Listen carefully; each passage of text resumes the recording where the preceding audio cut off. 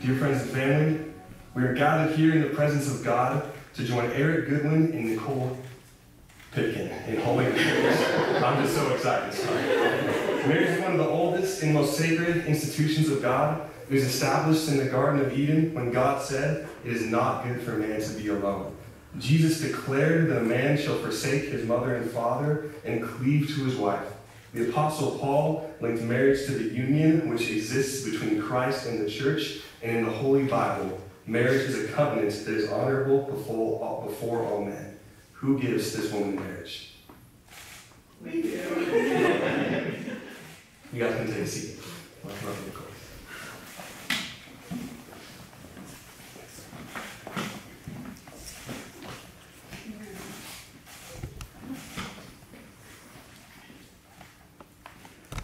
Well, hello, everyone. My name is uh, James Clark. I'm one of the pastors of Resonate Church, and it is such a blessing to be here today.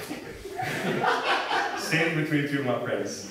I met Eric about six years ago at Washington State University through Resonate Church, and I met Nicole a couple of years after that when she started taking opportunities to lead within, within our church. And since then, Eric and I have been in a couple of small groups together. He's been a consistently generous friend towards myself and my family. Also, once I figured out how to track his sarcasm, he's been a constant source of laughter in my life. Um, Nicole, about a year ago, Nicole picked up her life in Pullman and moved alongside my wife and I to start a church in Bellingham, Washington.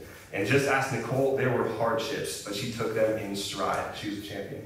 So at the end, it's a huge honor to be here right now to celebrate alongside Nicole and Eric and all of you, their family and closest friends. It is such an honor. And we as a community of friends and family get to join with Nicole and Eric as they commit to one another in the covenant of marriage.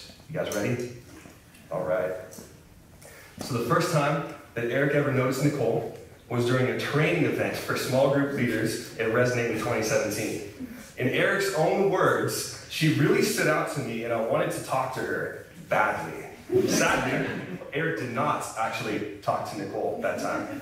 Um, about a year later, it took about a year for Nicole and Eric to cross paths again, and this time Eric was actually a stage actor in Legally Blonde musical. And Nicole was recruited to help with the choreography for this play. And in Nicole's own words this time, Eric was the really cool star child that everyone knew. She wanted to get to know Eric better and tried to talk to him really hard about music, about himself, but for some reason, Eric just would not hold a conversation with her. For some reason. Now, today we can assume it's because Eric was maybe a little nervous, right? That was it. But for Nicole, this jerk wouldn't give her the time of day. That was the problem. I'm starting to see a pattern here, by the way. So one year passed. In case you guys didn't know, Eric's a part of a band called Tons and Tons, if you've never heard that. Um, and they were playing a show in Bothell. Nicole was once again recruited to help out with managing this show. Eric finally was able to talk to her. You did it, man. Good job. they exchanged phone numbers. Next came long text conversations. You got, you guys know where this is going. After about a week, about, about a week of texting novels to one another, Eric asked Nicole on a date. Nicole made Eric wait almost five hours for a response, but eventually she said yes. Eric made the trip over to Pullman, where they went out to dinner. They walked around the city. They went on a few more dates after that, because that one went well enough for there to be a second and a third date. And after a couple of months of this, they made it official. Two months into long distance dating, Eric asked Nicole if he could tell her that he loved her. Nicole, knowing that love is not just an expression of emotion, but a statement of incredible commitment, said, Yes, you can tell me that. Oh, by the way, I love you too. Then that November of 2019, Eric took Nicole to watch the sunset, gave her a series of time capsules full of memories they had shared, and asked if she would marry him. As we can see, Nicole said yes. And praise God, here you two are today about to get married. It is a glorious day. One thing you're going to learn really quickly about Nicole, if you don't know her, if you know her already, you know this about her. If there's something that needs to get done, if you need help with something, she's the person you want with you. Nicole is hardworking, she is bold, and she's not afraid to say the hard things they need to be said. Thank God for that. At the same time, I've seen Nicole be vulnerable and quick to forgive. That's a rare quality for someone who can say the hard things, but also be vulnerable and quick to forgive at the same time, even in really challenging situations. I've seen her navigate those extraordinarily well. More importantly than all of this, Nicole is loved by Jesus. And at the core of who she is, she has a deep love for Jesus as well. Eric is talented and intelligent, but he would never tell you that. He would never tell you that. He's humble. I've seen him be patient, generous, and kind. One of Nicole's first memories of Eric is of him navigating some intense conflict with, with the said patience and kindness, asking questions and seeking first to understand, then to be understood. I've seen that from Eric as well. Most important, Eric is loved by Jesus, has a deep love for Jesus at the core of who he is. So I could spend the rest of this time talking about these two, about how amazing and beautiful Nicole is, how handsome and awesome Eric is. But the truth is that Nicole and Eric's lives are consumed with something so much bigger than just this moment or just themselves. Their lives are pointing to something in someone so much bigger than they are. So all of us walk into this place with different stories and different backgrounds, but all of us are here because we love Nicole and Eric, right? Yes. In a world where so many marriages end, divorce is not an option for these two. They're living with something so much bigger. Jesus has captured their heart and soul. This wedding points to the greater wedding to come, and this marriage is a shadow of the covenant that God makes with his people. Eric and Nicole have given their lives to the truth that God created all people to know him and to love him. But we have turned our back on God and chosen to do life on our own way. We've separated ourselves from God because of our rebellion, and we have no hope of joining Him on our own. But God, being rich in mercy, sent a hero to save us all.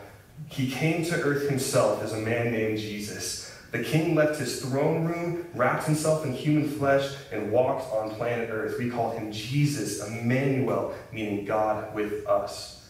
Who lived on earth for 33 years completely perfect, teaching us what it means to be fully human and then willingly laid his life down on a cross that we deserved in order to rescue us and redeem us.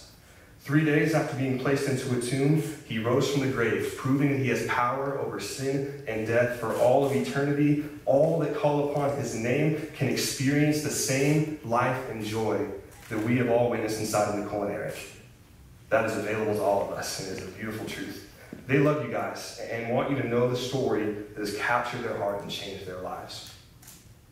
So, Eric and Nicole, they're, they're not here today for any reason but Jesus. They're here today because of Jesus, for the glory of Jesus. Without Jesus, they know they have nothing, and with him, they realize they have everything. Jesus' view of marriage is so clear. In Scripture, he quoted Genesis when he said, Therefore, a man shall leave his father and his mother and hold fast to his wife, and the two shall become one flesh. So then they are no longer two, but one. What therefore God has joined together, let no man separate. Jesus gave us two important truths about what marriage is in this scripture. First, Jesus tells us that two lives are going to become one. You two are going to literally become one. That is a miracle. What that means is this is a miraculous event. This is a divine event. And then what he says is what God joins together, let no man separate. This is profound. He's telling us that this marriage does not just belong to you, it belongs to God. The marriage belongs to God, and that is good news because He is a really good steward of His things. The second truth although you are now one, in God's marriage, you both play distinct roles. Ephesians 5:21, it says, submitting to one another out of reverence for Christ, wives, submit to your own husbands as to the Lord. For the husband is the head of the wife, even as Christ is the head of the church, his body, and is himself its Savior. Now, as the church submits to Christ, so also wives should submit in everything to their husbands. Nicole, as a wife, you're called to submit to your husband as to the Lord. The picture he's painting here is not one of oppression or control, but of a voluntary giving in, of a release, the ultimate release. This is going to require a lot of respect and trust, immense respect and trust. Eve was created to be Adam's ezer, the word means helper. As you have done and will do, help Eric. Ephesians 5.25, it says, Husbands, love your wives, as Christ loved the church and gave himself up for her, that he might sanctify her, having cleansed her by the washing of water with the word, so that he might present the church to himself in splendor, without spot or wrinkle or any such thing, that she might be holy and without blemish. In the same way, husbands should love their wives as their own bodies. He who loves his wife loves himself. Eric, the role of the husband is simply this love your wife as Christ loved the church. Now we must realize what that means. The context he's saying that in is the context of the cross. The husband's role is not to give in, but actually to give up. Give up your own life if need be. Give up your life daily for your wife. We aren't talking about letting her get her way. But we have to remember that Christ gave up his life and pursued a bride, the church, all of us, who rejects him daily. Your role as the husband isn't just to love unconditionally, but is to initiate love unconditionally. You go first, even when you don't want to. Christ pursued his bride, the church. Eric, you are called to pursue Nicole in everything. Now, both of you need to understand this. You're going to fail these rules a couple of times, at least once or twice. There will be days when you hurt each other. On those days, it is still the perfect grace of God shown through the person and work of Jesus Christ on the cross, who died for his enemies, that will lead us to rapidly forgive one another and reconcile. And trust me, every conflict and, res- and uh, reconciliation in marriage is another opportunity to grow closer to one another and closer to God. Is a good thing. It's amazing that Jesus transforms conflict and challenge into deeper relationship. The grace of God is going to sustain you. So, Nicole and Eric did not choose to make this commitment alone. The men and women that you see around these two are people that are going to continue to walk through life with them. They are not simply just friends, they are people who are going to fight for them, who are here to pray for them. These men and women, by standing here today, are committing to fight with them for their marriage in truth. Nicole and Eric have written their own vows, and they wish to privately speak these to each other as they step into the covenant of marriage. They will also be partaking in the sacrament of communion as their first act, uh, first act of marriage, reflecting on the sacrifice of Jesus on the cross. So the men, as this is happening, the men and women surrounding them will be taking their first act of fighting for this marriage by praying for Nicole and Eric as we engage in this. Now, friends and family, you are committing to them as well. By being in this room as witnesses of this day, we ask that you agree to be advocates of their marriage through seeking the Lord too. If today you wouldn't consider yourself a follower of Jesus, we would encourage you through common grace to know that God extends to all humanity an open door to seek Him even when you are unsure of who He is. So pray to the God that Nicole and Eric love to bless their marriage. Now, let's do some vows and communion.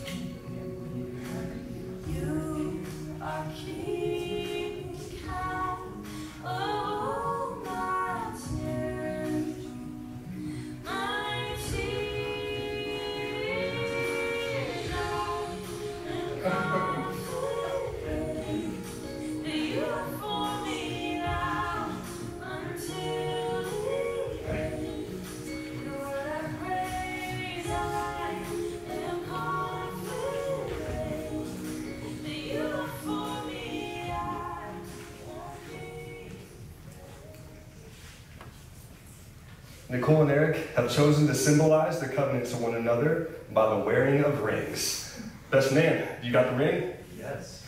Now, Eric, take that ring and put it on Nicole's finger. Repeat after me. You can keep holding hands. I, Eric, I, Eric, take you, Nicole, take you, Nicole, to be my wedded wife. to be my wedded wife. I promise to love you unconditionally, I promise to love you unconditionally, to honor and cherish you, to honor and cherish you, to care for you the best I can, to care for you the best I can, and to walk faithfully before the Lord. And to walk faithfully before the Lord, so that I may lead our home in truth. So that I may lead our home in truth. From this day forward. From this day forward, as long as we both shall live. as long as we. Maid of honor, you got the ring? That's it. That's the ring. As long as do. Eric, go ahead and Nicole, go that on Eric's finger. Repeat after me. I, Nicole, take you, Eric, to be my wedded husband. I promise to love you unconditionally, to follow and support you, to care for you the best I can, to walk faithfully before the Lord, so that I may offer you respect and my love. From this day forward, as long as we both shall live. As a minister of the gospel and by the authority given me by the state of Washington, I now pronounce you man and wife. Those who God has joined together, let no man put asunder. Eric, you can kiss your bride.